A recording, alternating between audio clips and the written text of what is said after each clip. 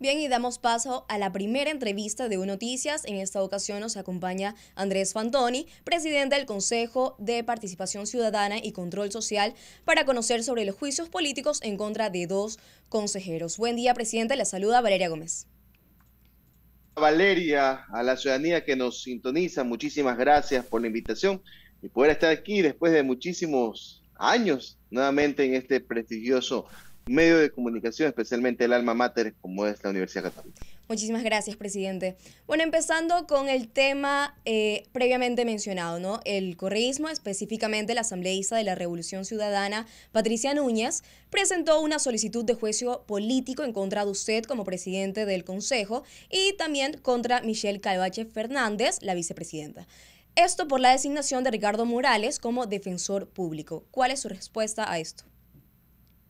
Eh, mire, Valeria, ciudadanía que nos escucha, yo soy muy respetuoso de cada una de las entidades o funciones del Estado, siendo la Asamblea Nacional parte de la función legislativa, nosotros somos parte de la función de transparencia y control social, y no puedo estar de acuerdo, eh, siempre hemos trabajado de la mano de la, ciudadanía, de la gente, de los ecuatorianos, fomentando espacios de promoción de la participación.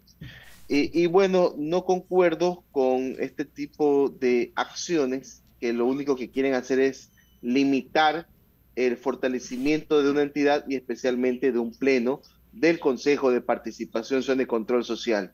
Lo importante acá es trabajar en independencia, que no exista la injerencia de ningún partido político dentro del Consejo de Participación Ciudadana, lo hemos logrado, no ha sido fácil, hemos tenido eh, decisiones realmente eh, autónomas y alejado de la democracia representativa que son los partidos políticos, como era costumbre dentro del Consejo de Participación Social y Control Social. Estamos activados, hemos avanzado muchísimo en parte de las responsabilidades, como es la parte nominador, nominadora de designación de autoridades, y, es por eso eh, que seguimos netamente con esta responsabilidad y además, eh, sobre el tema de eh, la posibilidad de un juicio político, faltan muchas fases. Es una simple solicitud.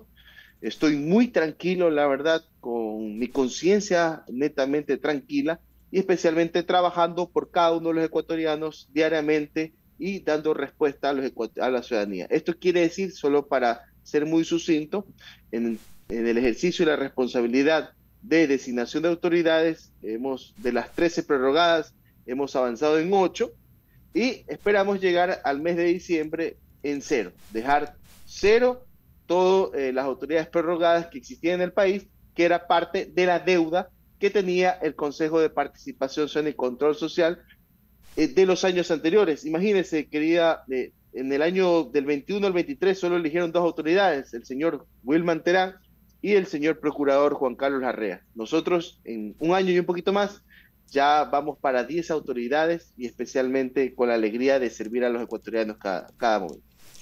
Bien, presidente, eh, analizando un poco esta solicitud de juicio político por parte del asambleísta correísta, eh, ella argumenta que usted y la consejera Calvache se arrogaron funciones al descalificar postulantes, violaron la seguridad jurídica, desconocieron el informe de calificaciones final de la Comisión Ciudadana de Selección y presuntamente limitaron la, la participación de la veeduría ciudadana.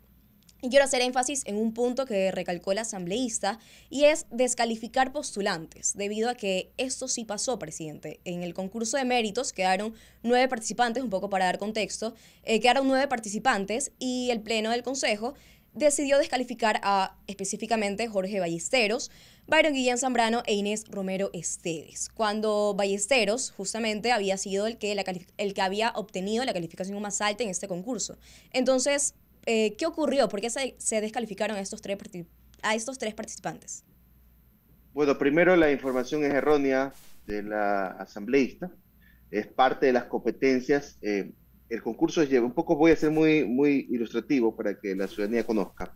El concurso lo lleva eh, prácticamente la Comisión Zona de Selección, pero en una fase, como lo dicta el reglamento, en la fase de las apelaciones de las impugnaciones, entra el Pleno del Consejo de Participación Ciudadana y Control Social. Y no es que un presidente o una vicepresidenta es el que elige, sino el Pleno, que es el máximo órgano del Consejo de Participación Ciudadana. Y no solo queda ahí, sino además sustentado y motivado por parte de un informe jurídico que detallaba que algunos de los postulantes que usted ha nombrado tenían o tenían falta de probidad, que es esencial para una, autoridad de control. En uno de los casos existía falsificaciones de eh, papeles, de documentos públicos. En otro caso, eh, tenían impedimento por ser eh, juez electoral y otros estaban inmersos en casos de, de, presunto delito o corrupción con, con instrucciones abiertas en la Fiscalía General del Estado. Es por eso que para este pleno, en mayoría, se determinó que es importante la probidad como lo dicta la norma, el reglamento y la constitución, además de un informe motivado y desmenuzado, eh, sustentando cada una de las acciones que iban reñidos con los reglamentos, con la constitución, y esto fue aprobado no por la persona que le habla, sino por cuatro votos, que es mayoría dentro de un pleno de siete, del Consejo de Participación Ciudadana y Control Social. Es importante la probidad, lo hablo como ciudadano, que las autoridades que nos vayan a representar no tengan manchas, no tengan presuntos actos de corrupción, ni denuncias eh, ciudadanas o algún problema con la justicia eh, anterior al tema de la elección. Y es por eso que es parte de las competencias que tenemos los consejeros en esta fase, insisto, no en todas, sino en esta fase de las apelaciones de las impugnaciones que llega eh, al Pleno del Consejo de Participación Ciudadana y se tomó una resolución, una resolución que tiene que ser respetada por las comisiones ciudadanas de selección y especialmente con ese informe sustentado, argumentado y motivado por parte de los siete consejeros del Consejo de Participación y Control Social. Presidente, entonces, eh, usted menciona de que todo este concurso y la designación del defensor público eh, fue de acuerdo a la ley, de acuerdo a las competencias que ustedes tienen. Entonces, realmente, eh, ¿cuál usted cree que es el motivo de, este, de esta solicitud de juicio político que presentó la, la, asambleísta? Tal vez la asambleísta está equivocada. Bueno, creo que tiene faltante información y conocimiento de los órganos y cuerpos colegiados, especialmente del Consejo de Participación Ciudadana y Control Social, porque desconoce o desconocería que la fase de las apelaciones de las impugnaciones, como se lo ha hecho anteriormente, es parte de las responsabilidades que tiene el Consejo de Participación Ciudadana y Control Social, velando la seguridad jurídica, velando los reglamentos, que es la Biblia de cómo, de las reglas del juego, de cómo tienen que ir cada uno de los concursos, en este caso de la Defensoría Pública, y es por eso que nosotros, vigilantes a eso, respetando la probidad, es lo que más requiere el país. El Ecuador requiere probidad dentro de sus, de, sus autoridades que regulan eh, la fiscalización en el país y de la mano de ello se hizo eh, respetar especialmente con un informe jurídico, insisto, esto no fue de que a mí se me ocurrió, esto viene de la mano un informe jurídico sustentado, argumentado y esta decisión no fue tomada solo por mí, sino por una mayoría del Pleno del Consejo de Participación Ciudadana, respetando las capacidades y especialmente las competencias que tenemos los consejeros únicamente en esta fase de las apelaciones, de las impugnaciones del concurso. Bien, inicial, eh, al inicio de esta entrevista, presidente, usted mencionaba que el actual Consejo eh, de Participación Ciudadana ha logrado alejarse de la democracia participativa, es decir, de los intereses políticos que le dicen. Representativa. Representativa. De la participativa. Sí, correcto. y usted, eh, bueno, recalcaba ese logro, ¿no? Eh, recordemos que al inicio del, actual consejo ocurrió la destitución de Albert Vera por el TSE por, por infracción electoral al, al haber sido parte de una propaganda junto al Partido Revolución Ciudadana, ¿no? Sin embargo, actualmente hay un nuevo proceso electoral contra eh, específicamente eh, Verduga, Saltos, Párraga y Lor, asimismo por una infracción electoral porque estarían, es, habrían sido parte de esta eh, nombrada Liga Azul, ¿no? Y y de nuevo comienza a haber polémica dentro del mismo consejo, ¿no? si bien mencionaba que se ha alejado un poco, hay un nuevo proceso ahora contra estos cuatro consejeros, dos suplentes, dos principales. Eh, aparte también hubo eh, la polémica con el eh, actual ahora presidente de Judicatura. Entonces realmente todos, todos estos hechos van dañando un poco la imagen del Consejo y van tal vez aumentando la opinión de la ciudadanía y de algunos analistas que mencionan que tal vez este Consejo debería dejar de existir. Sí, pero más que eso, yo pienso que la ciudadanía tiene ese, ese, ese, esa aquiescencia porque desconoce, lamentablemente se ha desconocido de muchos años atrás todas las eh, bondades que tiene el Consejo de Participación Ciudadana y Control Social. Y voy a ser muy sucinto en mi explicación. Primero, y voy por eje, si usted me lo permite. Designación de autoridades. Hemos avanzado. Contraloría General del Estado, que estaba congelado por más de seis años. Defensoría Pública, congelado más de tres años. No avanzaban nunca con la Superintendencia de Datos y Protección de la Información. Histórico para el país, histórico para el Consejo. Lo realizamos. Estuvo congelado por más de dos años la designación del superintendente de bancos. Nosotros lo destrabamos, avanzamos.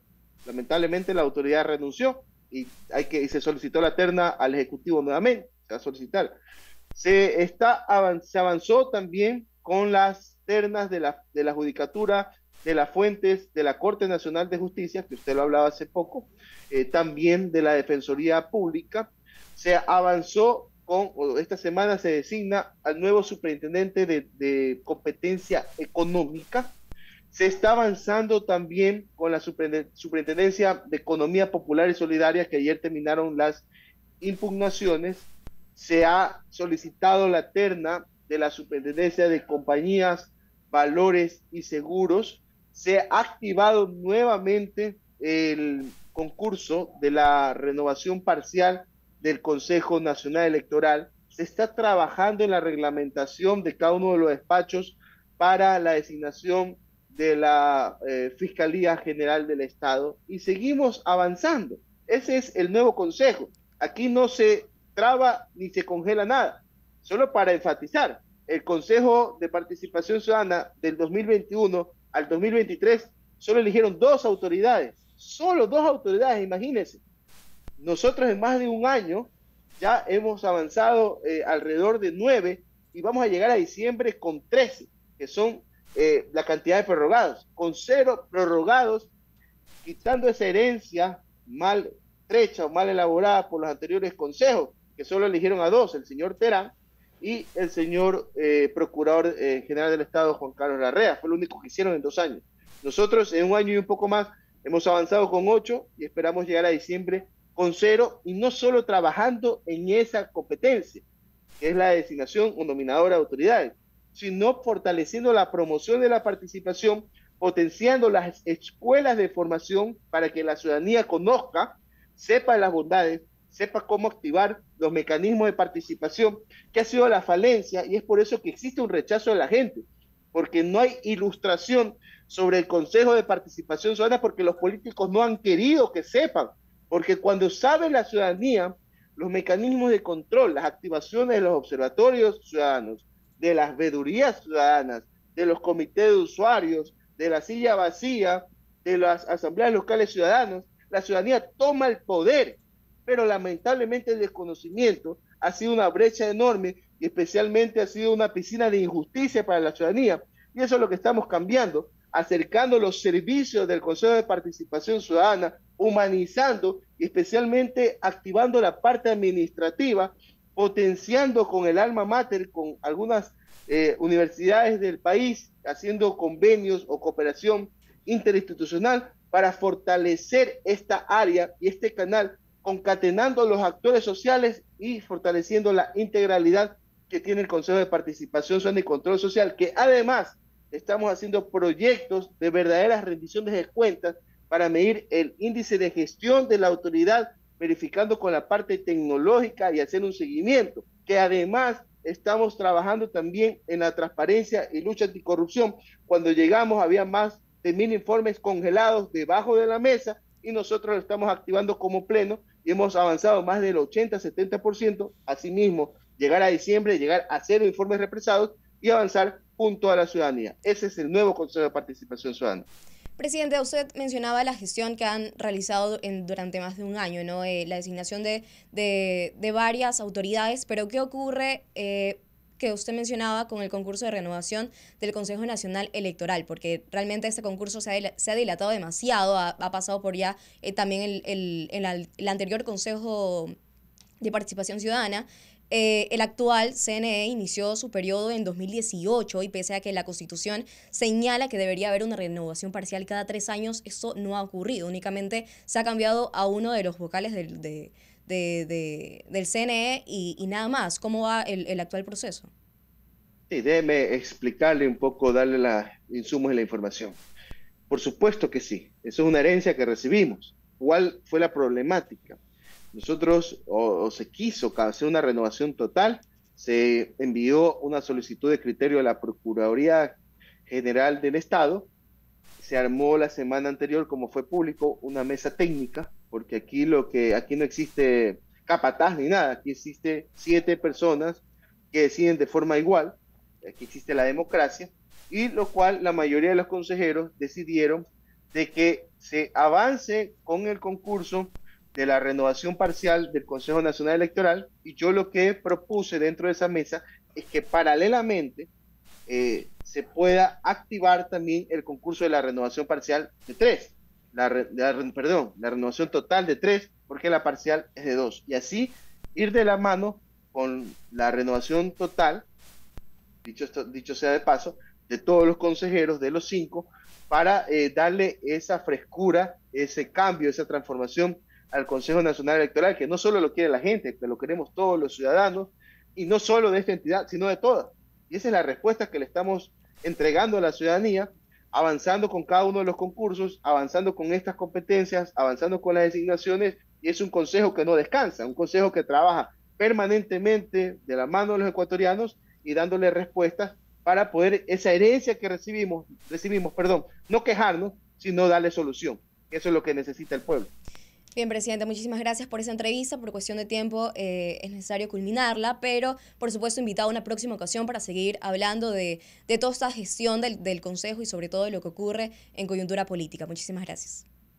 Muchísimas gracias, me he quedado corto, tenemos muchas más bondades, pero en otra gentileza e invitación que me hagan siempre dispuesto a su llamado. Un abrazo a todos los que nos sintonizan. ¿ah? Muchas gracias. Muchísimas gracias. Bien, estuvimos con Andrés Fantoni, presidente del Consejo de Participación Ciudadana y Control Social, para conocer sobre los juicios políticos en contra de él y la consejera Calvache y por supuesto de la gestión de esta entidad.